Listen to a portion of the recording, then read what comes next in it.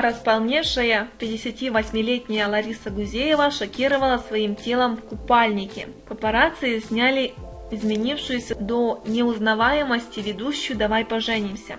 По слухам, в личной жизни у нее не все гладко. Лариса Гузеева несколько лет назад приобрела уютные апартаменты недалеко от Бурхсага. Она надеялась сполна расслабиться ласковым морем и песчаным пляжем рядом с домом. Но под окнами актрисы поставили качели, и Гузеева развернула настоящую войну. Мол, их скрип и радостный визг детей мешает ей восстанавливать силы после съемок программы «Давай поженимся». Качели в итоге демонтировали, но тут новая напасть. На их месте появился бассейн, в котором резвится детвора.